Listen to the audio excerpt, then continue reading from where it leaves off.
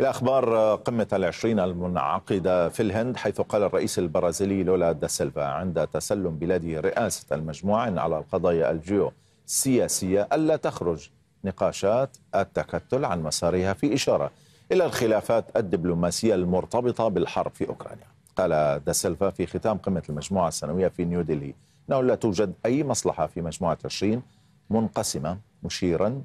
إلى أن الأعضاء يحتاجون إلى السلام والتعاون بدلا من النزاعات. كما أكد الرئيس البرازيلي أن بلاده ستدعو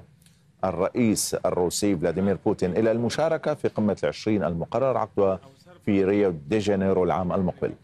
وأنه لن يقبض عليه إذا قرر حضور هذه القمة.